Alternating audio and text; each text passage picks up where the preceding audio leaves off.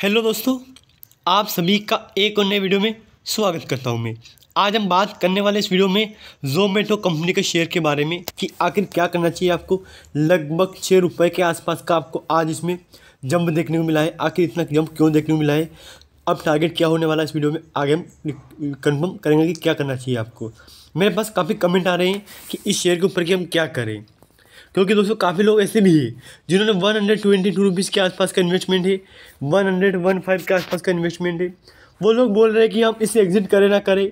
तो एक बात मैं आपको बोल दूँ कि आप एग्जिट करने की गलती भी आप बिल्कुल भी मत मत करना, क्योंकि आपको आने वाले टाइम में ये शेयर दोस्तों कम से कम दो सौ से तीन सौ रुपये के आसपास की प्राइस भी देखने को मिलने वाला है।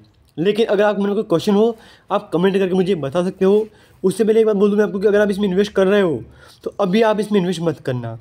क्योंकि मार्केट में स्टॉक दोस्तों अपने फिफ्टी वीक इस तरह के आसपास चल रहा है तो आप इसमें गलती में अभी इसमें इन्वेस्ट मत करना करना है आपको तो वेट करोगे थोड़ा स्टॉक नीचे आता है तो आप इसमें इन्वेस्ट कर सकते हो।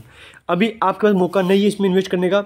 लगभग फाइव डे की बात करूँगा मैं तो फाइव डे में स्टॉक माइनस था। एक मंथ में दोस्तों शेयर ने आपको दस रुपये के आसपास जम रिटर्न दिया है। आठ से नौ परसेंट के आसपास रिटर्न दिया है, लगभग एक तरह से मान सकते हो आप दोस्तों की। ऐसा स्टॉक आपको ढूँढने पर भी नहीं मिलने वाला है। सिक्स मंथ में आपको साठ रुपये के आसपास का जंप देखने को मिला है। मतलब इस शेयर ने इतिहास रख दिया दोस्तों रिटर्न के मामले में। अगर आपके मन में कोई क्वेश्चन हो, आप कमेंट करके मुझे बता सकते हो। धन्यवाद दोस्तों।